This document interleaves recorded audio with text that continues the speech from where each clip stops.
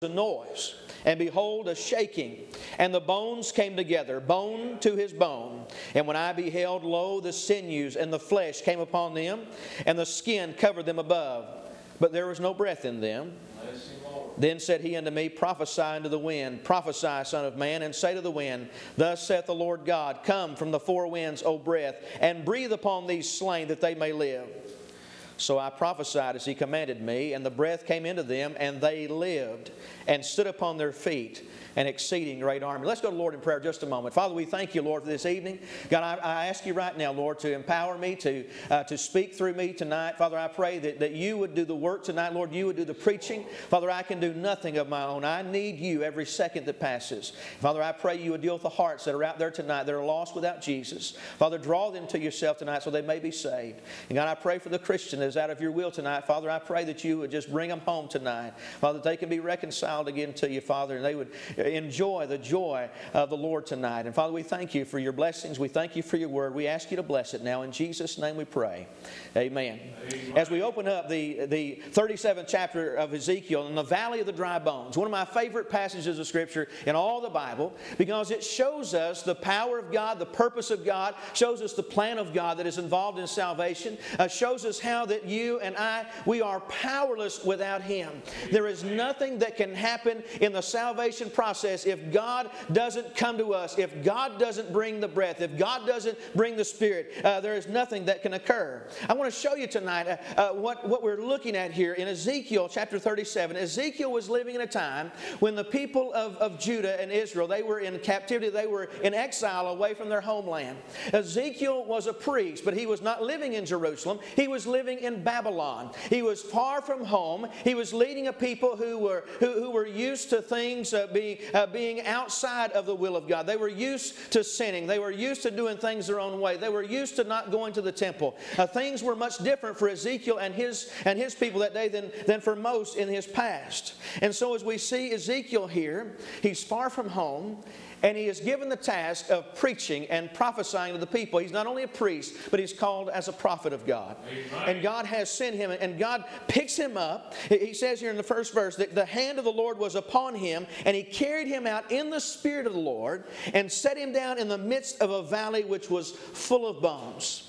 Now, friends, you and I know that, that there are places that we desire to go. There are places that we want to be. And I would guarantee you that on the top 10 vacation list is not a valley that is full of dry bones. Nobody wants to think about death. Nobody wants to think about destruction. Nobody wants to think about devastation. And, and certainly Ezekiel did not. Ezekiel was a priest. He was used uh, to going through elaborate uh, uh, ceremonies. He was used to, uh, to washing his hands several times a day. Uh, he was not going to do anything that would cause him to become unclean ceremonially. But here, God placed him in the midst of a valley of dry bones, which signified death. Everywhere he turned, everywhere he looked, he was facing death.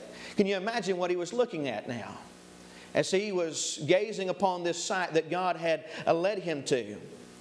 God, it says God set him down in the midst of the valley. He wasn't on the edge looking down into, into the valley. God set him right in the middle. You can imagine what it was like. He was there and he was trying, probably trying really hard not to step on anything, not to break anything. Friends, I want to tell you, if you're in a place of death, you can feel that. You, you experience that.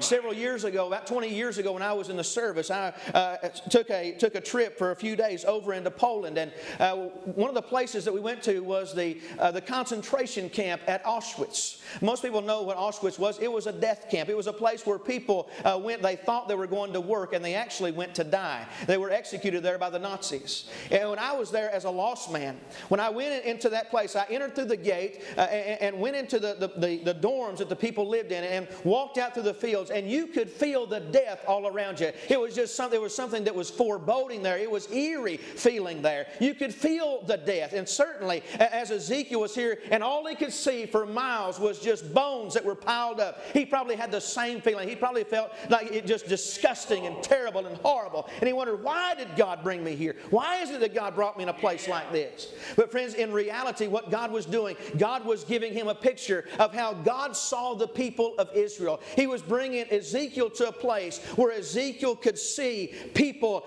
just the way that God did. Yeah. Friends, I want to tell you tonight that as Christians, if we do not see with the eyes of God, if we don't see people that way, we can never love them with the heart of God. There is no way that we can ever have a burden for people that are lost if we don't see them as God sees them. The Bible tells us in Ephesians chapter number 2, beginning in verse number 1, and also verses 4 and 5, that, that we are dead in our sins and trespasses. That is the state that we're in without God. We are dead. And so we could just as easily uh, be, be uh, thinking about Ezekiel as he was in the valley of dry bones, and God was saying, This is my people Israel. This is the way I see them. It's just like us walking around today. Uh, you go in the, into the stores, you can go into Walmart, uh, you can drive around the shopping center, drive up down the road. Everywhere you look, you see people that are dead in their sins and trespasses. You see them there. It's just like we're living in, a city, uh, in a county, in a nation of dry bones because there are people without Jesus all around us.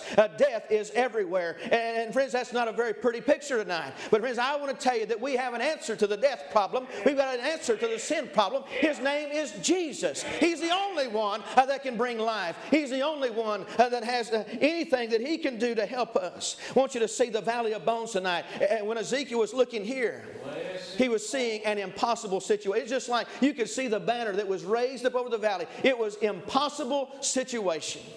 There was nobody that can do anything to change the situation of these bones. It says that there were very many. There was a lot of those bones. There, as far as the eye could see, there were, there were bones. And he says they were very dry. Yeah. The, the, destruction just didn't happen the day before. It didn't just happen a week or a month. This was something that had happened and, and been going on for